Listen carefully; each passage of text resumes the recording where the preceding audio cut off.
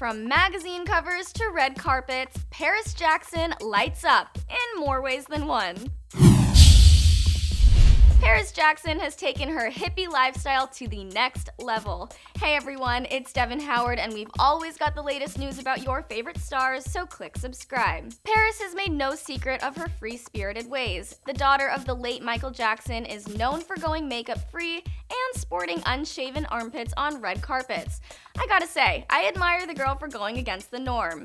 From backpacking around Europe to always keeping her outfits boho chic, the young model keeps her look and lifestyle chill and laid back. And by laid back, I mean very laid back. Paris was recently spotted in Los Angeles leaving a marijuana dispensary holding a brown paper bag. What was in the bag, Paris?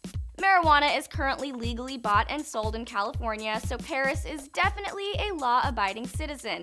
And look, a girl's gotta do what a girl's gotta do. What do you think about Paris's trip to the dispensary? Should she have sent an assistant to grab the goods for her? Let me know your opinion in the comments.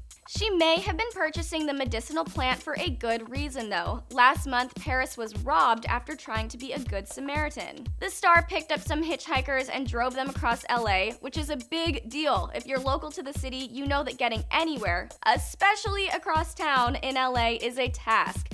She later realized that the hitchhikers had stolen her debit card, completely disrespecting her and the help she gave them. Being robbed or taken advantage of in any way can be traumatizing, so maybe she grabbed herself some marijuana to help calm her anxiety. Or maybe the girl just likes to light up. Are you surprised by Paris's recent purchase? Do you think that, as someone in the public eye, she should try to be more of a role model, or do you appreciate that she's such an open book?